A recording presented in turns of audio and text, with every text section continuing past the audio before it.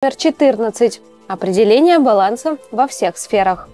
Основная задача ребенка связана с умением находить баланс во всех сферах своей жизни, быть аккуратным, дипломатичным, тактичным, скрупулезным, порядочным, добросовестным, усидчивым. Для ребенка будет благоприятным занятие шахматами, рукоделием, науками, требующими систематического и взвешенного подхода.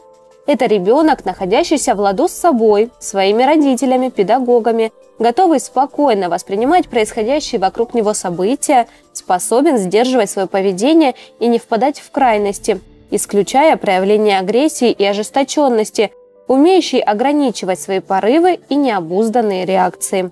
При решении любых нравственных вопросов и выборе правильного образа поведения в происходящей ситуации ребенок должен ориентироваться на внутренний баланс, мир и гармонию.